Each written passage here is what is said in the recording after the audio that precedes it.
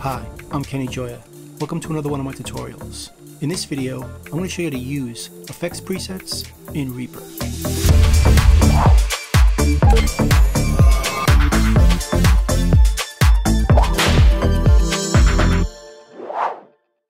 I have a project set up here with a bunch of tracks, and I want to put some effects on them. And the easiest way to do that is to go to the track we want the effect on, hit the effects button, and that opens up the effects browser. We could choose our effects from the list, from our columns over here. We'll just type into the filter the name of the effect you want. So if I want a compressor, I'll type in comp. And we can see all the compressors or the plugins with comp in their name.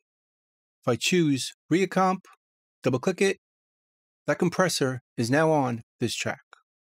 And we can see by default, no preset is chosen. So starting off with a default or no preset. But we could choose a different preset that comes with Reaper right over here. Let's say we choose Modern Vocal, and that opens up that preset. We can still change it for our personal needs and resave it with a different name. Go right here, choose Save Preset, and give it a name. Save it. Now that preset is saved in the list.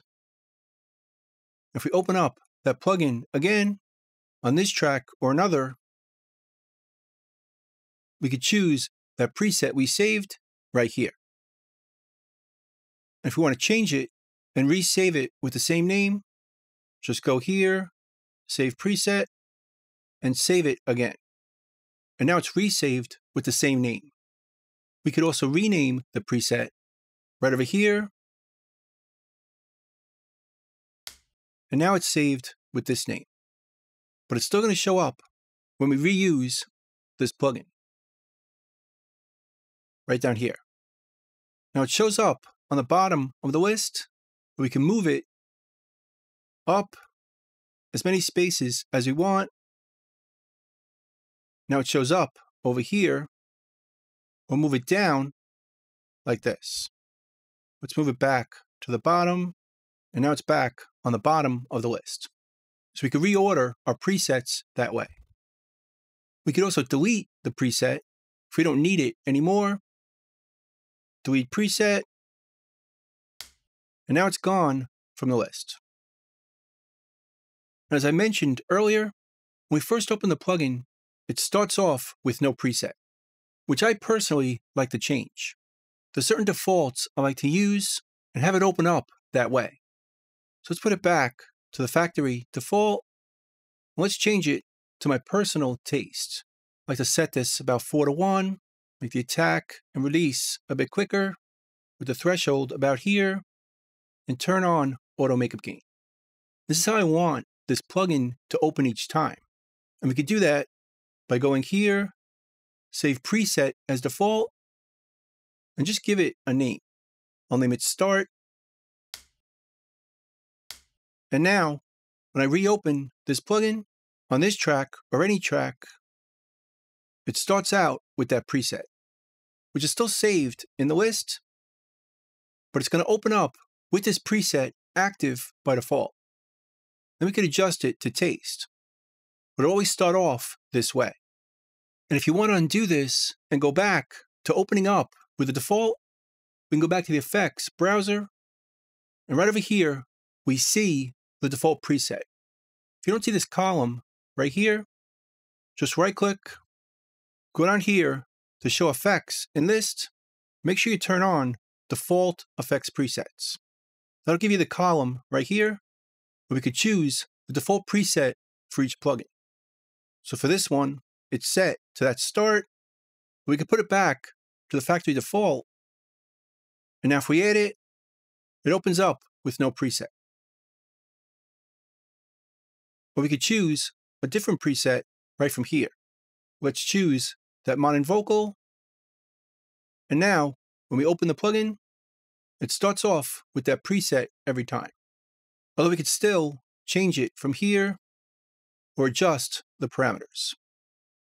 Now, if you create a whole bunch of presets you want to save, you could save that list or export it right here.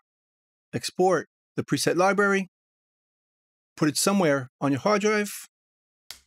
And then later, if you need them, just import them right here. Find that file. It replaces the existing ones with the same name. We get back that same list. Now, one of my favorite things to do with my plugins is to go over here and choose Show Embedded User Interface in the Track Control panel. If we choose this, it embeds the plugin right here. For the compressor, we just see the threshold, which we could adjust from here, which also adjusts it right here, even with this closed. We could always adjust our threshold from here. Let's do the same thing with an EQ, double click it, go over here, and embed it in the user interface in the track control panel. Now that shows up over here. We can adjust our EQ right from the track control panel, even with this window closed. But by default, they're not going to show up. So if we start over again, let's add the compressor and the EQ, by default, they don't show up in here. We have to add them manually each time. Unless you change the setting. Go back to the effects browser, choose the plugin you want, and right click it, and go down here to default settings for new instances, and choose Show Embedded User Interface and Track Control Panel. And we can do that for any plugins we want, at least the ones that work with this feature. Choose the EQ, right click it, go down here to default settings for new instances, and turn on Show Embedded User Interface in Track Control Panel.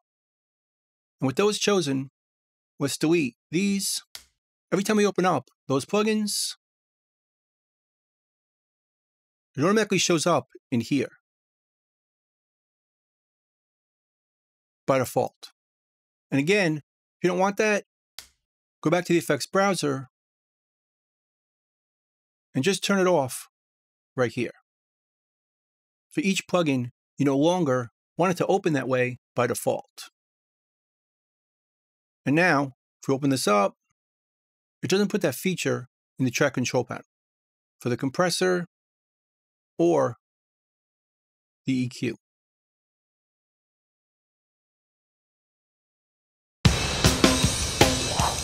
So that's pretty much it. That's effects, presets in Reaper. I hope you learned something. Hope you could use it, and I'll see you next time. Thanks.